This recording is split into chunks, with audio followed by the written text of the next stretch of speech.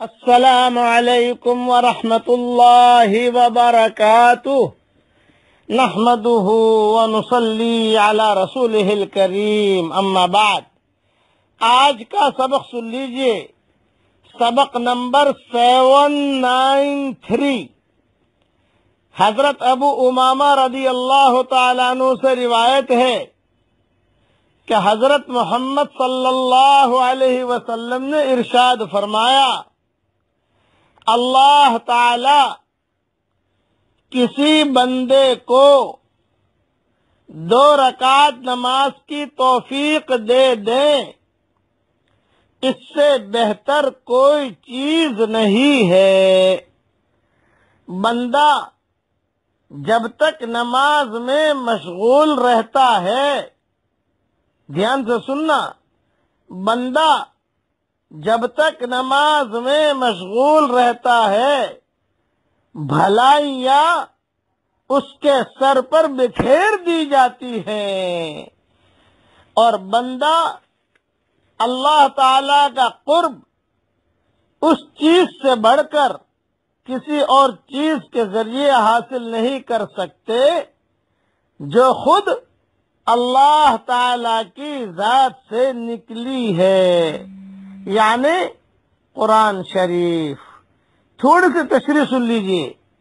حدیث شریف کا مطلب یہ ہے کہ جب بھی بندہ یا بندی نماز پڑھتے ہیں تو بھلائیاں اس کے سر پر اللہ تعالیٰ کی طرف سے آتی ہے۔ جیسے پھول ڈالتے ہیں نا، دلہے کے اوپر پھول ڈالتے ہو کہ پھول پھولوں کی بہار۔ ہاں کسی جو ہے کوئی اچھا جنازہ کسی بھلے کا جاتا ہے تو اوپر سے پھول ڈالتے ہیں۔ یہ یہ رواج ہے ہمارے ہندوستان کے اندر۔ دلہے کے اوپر پھول ڈالتے ہیں۔ تو جب کوئی نماز میں ہوتا ہے تو اللہ کا تعالیٰ کی طرف سے نیکیوں کے پھول اس کے سر کے اوپر بکھیر دیے جاتے ہیں۔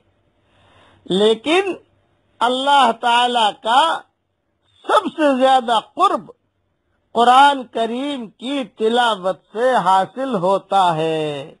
اللہ تعالیٰ کا جو قرب ملتا ہے وہ صرف قرآن کریم کی تلاوت سے ملتا ہے۔ اور کسی چیز سے نہیں ملتا، اس لیے قرآن شریف بہت پڑھا کریں، اس کا خاص خیال رکھیں۔ قرآن شریف بہت پڑھیے۔ اللہ تعالیٰ ہم سب کو قرآن شریف پڑھنے کی خوب توفیق عطا فرمائے۔ اب پڑھیے میرے ساتھ۔ ربنا حبلنا من ازواجنا وذرياتنا قرة اعين وجعلنا للمتقین اماما۔ اللہ تعالی یہ دعا میرے لیے بھی قبول فرمائے اور آپ کے لیے بھی قبول فرمائے۔ اللہ تعالیٰ سے دعا کرتا ہوں کہ اللہ تو ہمیں تیرے بھلے بندوں میں شامل فرما اور اعلیٰ مجلس والوں میں شامل فرما۔ اے اللہ، ہم نے تیرے بندے اور بندیوں کے حقوق ضائع کیے تو ہمیں ادا کرنے کی توفیق دے۔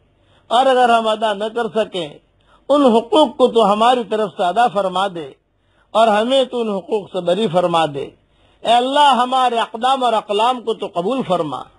اے اللہ، ہماری محنتوں کو قبول فرما اور اپنے فضل و کرم سے ہماری ساری دعاؤں کو قبول فرما۔ آمین آمین۔ والسلام علیکم ورحمۃ اللہ وبرکاتہ۔